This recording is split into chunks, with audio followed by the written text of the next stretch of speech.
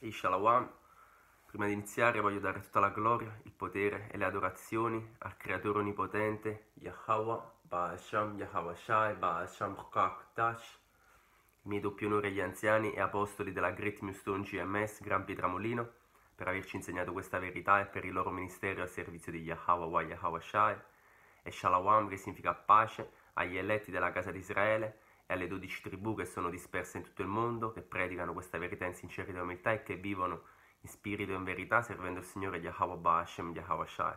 Shalom. Eccoci qua di nuovo un'altra volta per portare sempre un po' di eh, edificazione e di esortazione al popolo di Israele, Yasharala, i così chiamati negri, latini, taino, indios, nativi indiani d'America, terroni, siamo dispersi in tutto il mondo eh, attraverso la Sacra Scrittura, nel nome del Padre Onnipotente Yahweh, colui che è, eh, per mezzo e nel nome di suo figlio Yahweh Shai, colui che esiste, che il mondo dall'ignoranza chiama Gesù. Eh, mediante la Rukakudash, lo Spirito Santo, abbiamo l'unica, e vera interpretazione della Sacra Scrittura che condividiamo, dando da mangiare alle pecore perdute della casa di Israele.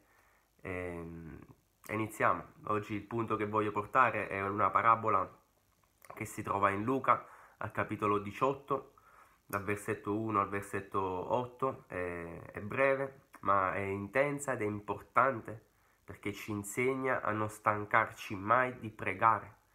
Eh, leggiamo, questo è Yahweh Shai che insegna questa parabola che dice, Luca capitolo 18 dice, propose allora propose loro ancora questa parabola per mostrare che devono pregare sempre e non stancarsi. In una certa città vi era un giudice che non temeva Dio e non aveva riguardo per nessuno. E in quella città vi era una vedova la quale non andava, Salachia, e in quella città vi era una vedova la quale andava da lui e diceva, rendimi giustizia sul mio avversario praticamente in questa città c'è questo giudice che non, che non è timore, che non è un credente, che non è, quindi praticamente dicendo è un empio, è un, è un, è un malvagio, che chi non ha la conoscenza di Yahweh Hashem Yahushai naturalmente va contro il Signore, chi non ha la dottrina, l'insegnamento, chi non ha lo spirito del Padre ha lo spirito contrario a quello del Padre. Quindi diceva, in questa città c'è un giudice che non temeva il Signore. E in questa, in questa stessa città c'era una vedova la quale andava da lui a, a chiedergli giustizia su, su, un torto che ha ricevuto dal suo, dal suo avversario. E diceva rendimi giustizia sul mio avversario. Egli, il giudice, per qualche tempo non volle farlo, ma poi disse fra sé, benché io non tema Dio e non abbia rispetto per nessuno, pure, poi, eh, benché io non tema Dio e non abbia rispetto per nessuno pure, Poiché questa vedova continua a importunarmi, le renderò giustizia perché venendo a insistere non finisca per rompermi la testa.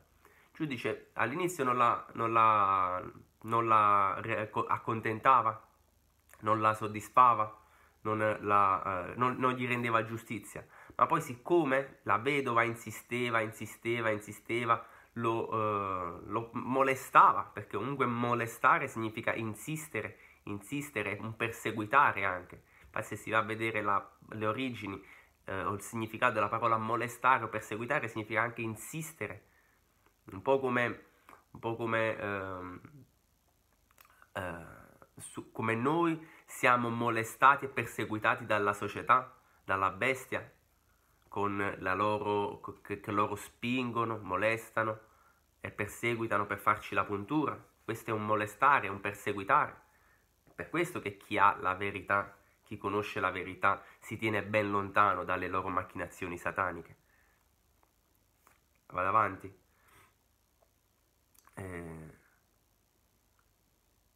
il, giudice dica, il, giudice dice l'accontenterò affinché non, non, eh, romper, non finisca per rompermi la testa, non perché gli tirasse un sasso sulla testa, ma perché gli facesse, gli, gli facesse venire mal di testa continuando ad andare lì a, a, import, a, a molestarlo, a, importunarlo, a insistere affinché gli rendesse giustizia. E il Signore Yahweh Shai disse, ascoltate quello che dice il giudice ingiusto. Yahweh Ba'Hashem Yahweh non renderà dunque giustizia ai suoi eletti che giorno e notte gridano a lui? Tarderà nei loro confronti? Infatti questa parabola ci serve a far capire che come il giudice ingiusto è stato accontentato, ha, uh, ha soddisfatto la richiesta della vedova, come ha altrettanto il Padre Onnipotente, nostro creatore Yahweh Bashem, Yahweh Shai, renderà giustizia ai suoi eletti, ai suoi santi, che notte e giorno, che significa continuamente, lo pregano affinché si prenda cura di loro, si prenda cura di noi.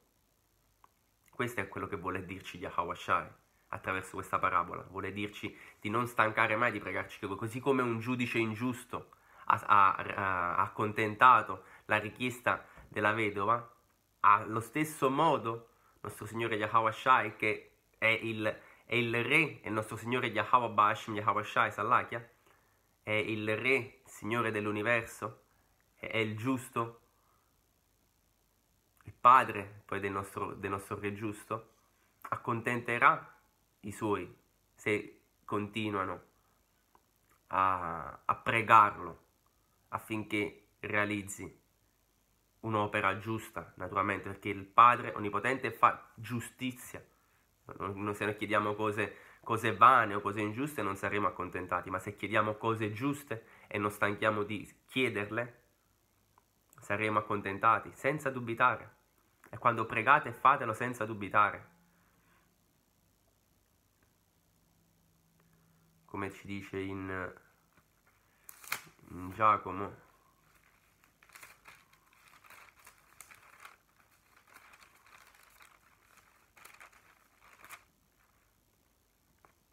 Se, questo è Giacomo capitolo 1 versetto 5 dice se poi qualcuno di voi manca, manca di saggezza la chieda a Dio che dona a tutti generosamente senza rinfacciare e gli sarà data, ma la chieda con fede, senza dubitare, perché chi dubita rassomiglia a un'onda del mare, agitata dal vento e spinta qua e là.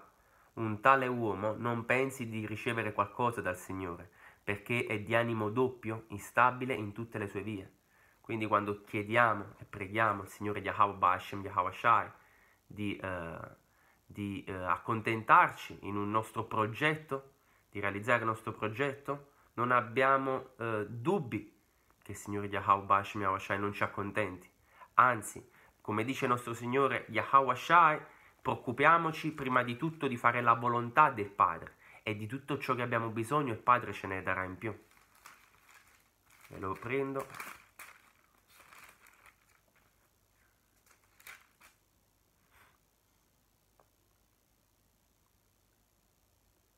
Questo è Matteo capitolo 6, versetto 33, dice cercate prima il regno e la giustizia di Dio e tutte queste cose vi saranno date in più.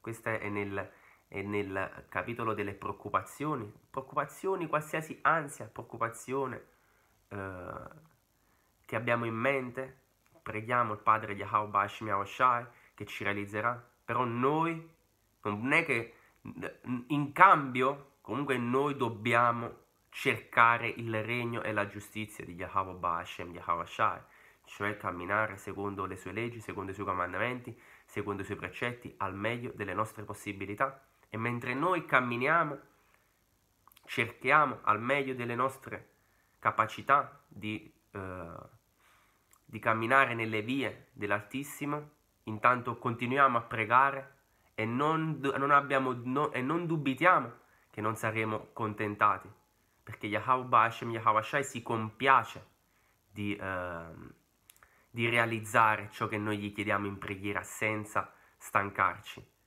Ok? Chiudo con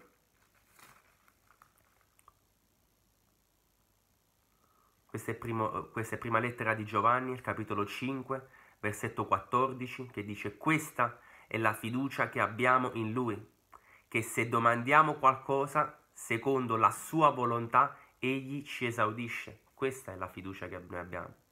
Ok? Che se chiediamo qualcosa, il Padre, secondo la sua volontà, Egli ci, ci esaudisce. Che naturalmente ricordiamoci anche quando Yahweh Shai gli chiese di evitare di bere il calice della crocifissione, della, delle torture, di essere messo in mano dei, dei malvagi e di, essere, di, passare quella sofferenza, ma Yahweh Shai quando pregava diceva sia fatta la tua volontà e non la mia. Per questo ho detto se è giusto quello che noi chiediamo sarà realizzato. Ok? E, ehm, pensandoci non ho, non ho concluso il, il, capitolo 18, manca l'ultimo versetto, il versetto 8, dopo il versetto 7 dice, eh, dal versetto 6, il Signore Yahweh disse, ascoltate quello che dice il giudice ingiusto, Dio non renderà dunque giustizia ai suoi eletti che giorno e notte gridano a lui, tarderà nei loro confronti? Versetto 8. Io vi dico che renderà giustizia con prontezza. Ma quando il figlio dell'uomo verrà, ma quando il figlio dell'uomo verrà, troverà la fede sulla terra. È questo che vi, stavo, che vi ho accennato prima. Yahweh Shai ci dice che il creatore onnipotente ci accontenterà, ma quando Yahweh Shai tornerà sulla terra, troverà la fede. Fede, certezza di cose che non si vedono, la troverà la fede sulla terra, perché, ripeto, noi dobbiamo camminare in spirito, in verità e in fede per chiedere, pregare essere realizzati dal Padre Onnipotente. Quindi pensiamo a camminare per essere graditi a Yahweh Bashem, Yahweh Shai. Così che quando pregheremo il Padre Onnipotente potremo avere la speranza, come ci abbiamo letto in Giovanni in 1 Giovanni 5, 14. Possiamo avere la speranza di essere esauditi. Questa è la fiducia che abbiamo in Lui. Se domandiamo qualcosa secondo la sua volontà, Egli ci, ci, ci esaudisce. Ok? Quindi preoccupiamoci prima di fare la giustizia di Yahweh Bashim, Yahweh Shai. Continuiamo a pregare, non smettiamo di pregarlo e continuiamo a camminare secondo le sue vie. Che non possiamo chiedere se non, se non eh, dimostriamo di, di voler stare con Lui. Che queste sono le due strade di questo mondo. La strada dei malvagi, che è, da, è, che è visibile davanti ai nostri occhi, o la strada della fede, che è invisibile ai nostri occhi ma è forte nello spirito.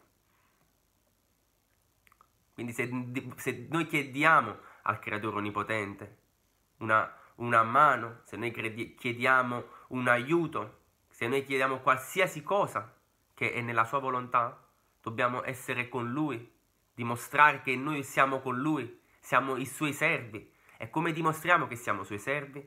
Attraverso i suoi comandamenti, attraverso le sue, le sue, le, la, la, la, sua, uh, la sua via. Ok? Detto questo spero di essere stato edificante e voglio dare tutta la gloria, il potere e le adorazioni al Creatore Onnipotente, Yahweh Ba'asham, Yahweh Shai, Ba'asham Kakdash, miei doppi onori agli anziani apostoli della Great Millstone GMS per averci insegnato questa verità, per il loro ministero al servizio di Yahweh Yahweh Shai, e Shalom, che significa pace agli eletti della casa di Israele e alle dodici tribù che sono disperse in tutto il mondo predicando, vivendo, soffrendo e aspettando il ritorno del nostro Signore Yahweh Shai. Shalom, Maikian, alla prossima.